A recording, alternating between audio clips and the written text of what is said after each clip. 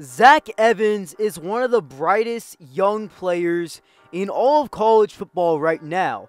In just four games played in his 2021 campaign as a sophomore, he has 443 rushing yards, averaging 8 yards per carry, 3 touchdowns on the ground, and 1 touchdown through the air.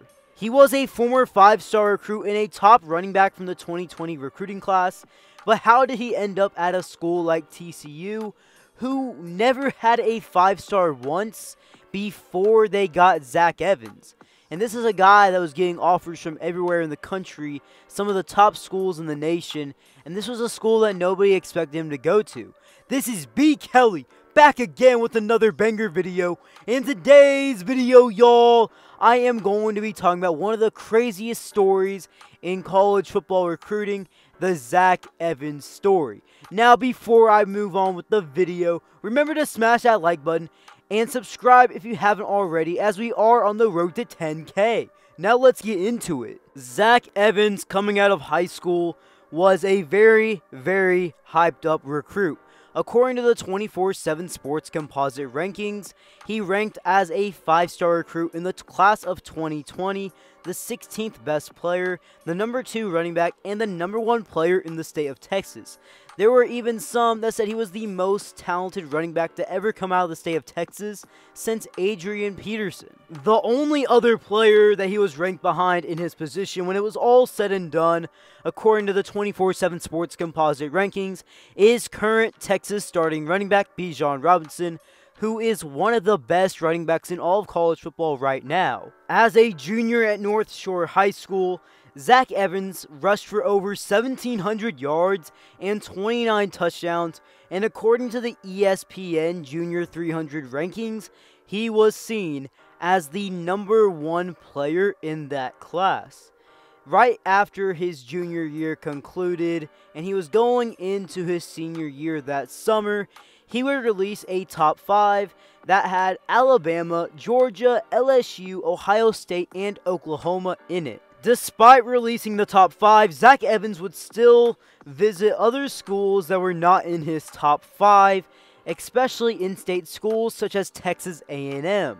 Things would get interesting on Zach Evans' recruitment trail as on June 7th, 2019, one of his teammates at North Shore offensive tackle Damieon George would end up committing to Alabama. And a week before that, Zach Evans told 24 7 Sports that he and George are a package deal. To put the cherry on top of that, Zach Evans actually visited Alabama earlier that week before his teammate that he was a so called package deal with committed to Alabama.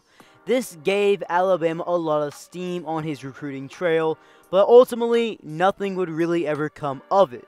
He would end up taking more visits throughout that summer going into his senior season.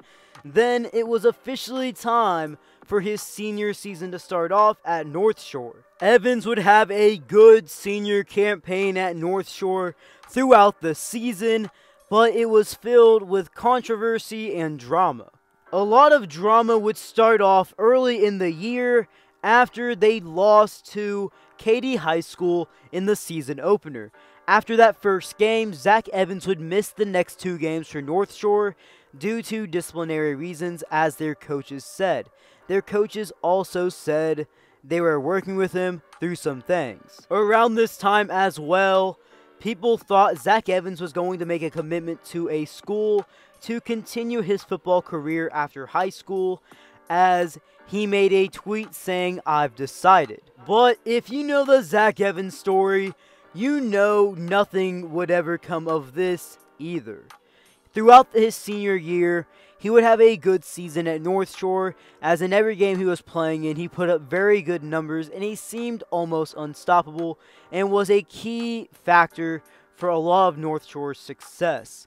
Not only that, he would continue to take a lot of visits to a lot of different schools throughout the season. On December 1st, 2020, Zach Evans announced that he would be announcing his commitment to a school on December 4th and even released a new top list that included Alabama, Georgia, LSU, and Texas A&M. He would end up not announcing anything on December 4th as the day before on December 3rd, he announced a change of plans as he would now be announcing his commitment live at the Under Armour All-American game on January 2nd of 2021.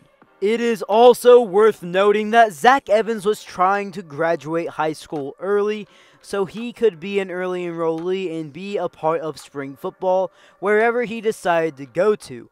With that being said, he would actually miss the first half of the semifinal game versus Lake Travis because he was taking an ACT. But when he came back, he had a dominant performance, as on 16 carries, he had two touchdowns for 176 yards in a 49 38 win to help North Shore go to the state championship game for back to back seasons. The stage was set for the state championship game between North Shore and Duncanville. Now, this was a very hyped up game as people were really looking forward to seeing these two great teams battle it out for the state trophy. But a player that a lot of people were looking forward to see play was Zach Evans. But the thing is, Zach Evans would never play in this game. Zach Evans would miss the state championship game for his senior season because he violated the team rules, and this was his second disciplinary measure of the season so his coaches thought it would be best if he did not play in the state title game, effectively ending his high school career. Fast forward a little bit later, and Zach Evans has let the Under Armour All American game know that he has officially signed his letter of intent during the early signing period and that he was going to announce it live on January 2nd. But he would end up not being able to announce where he was going as a lot of things were really unknown at the time as there were changes in his plan and he would not end up being able to announce his decision live of where he was going to go. He issued an apology saying, First and foremost, I just want to apologize to my college coaches for everything that's going on and what they're hearing. I am really a good kid. I came in and I learned from some former professionals how to overcome adversity.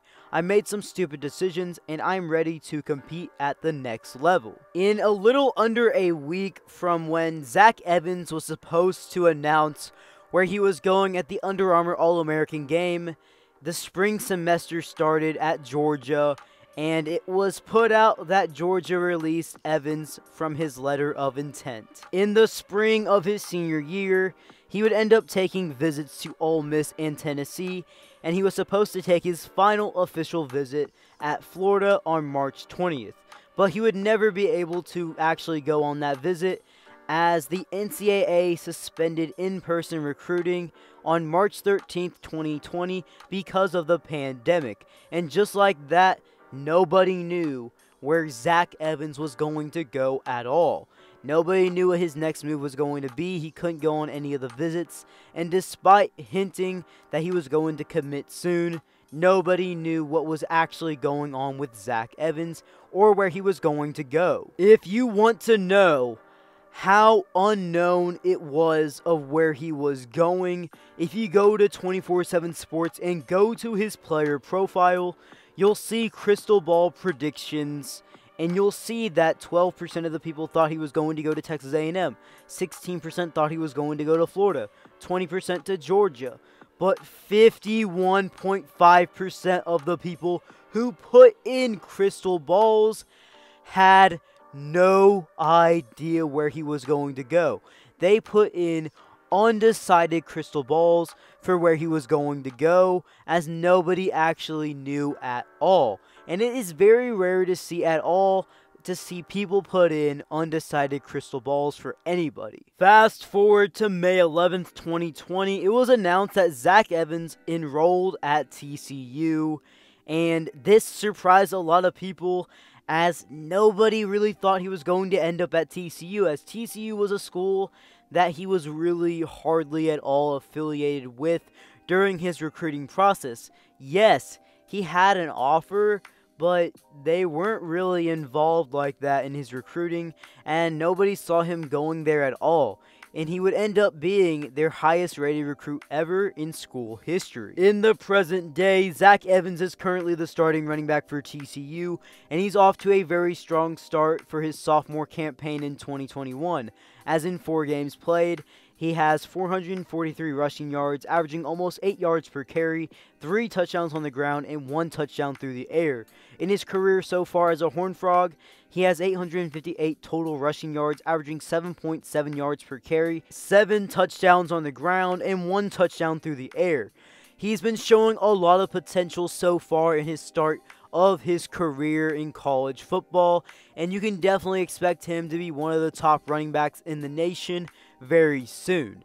Well, guys, if you guys have made it this far in the video, remember to smash that like button, turn on them post notifications, and subscribe for more videos. B. Kelly, out.